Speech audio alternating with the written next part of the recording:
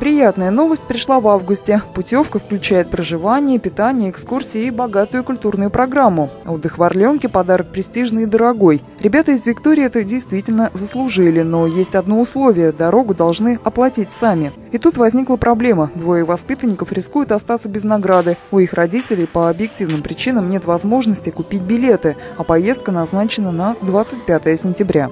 Но туда надо доехать. И двое детей не могут доехать до этого Орленка. Это надо где-то по 15 тысяч, ну 30 тысяч. Уже уважаемые спонсоры, меценаты, пожалуйста, помогите этим детям.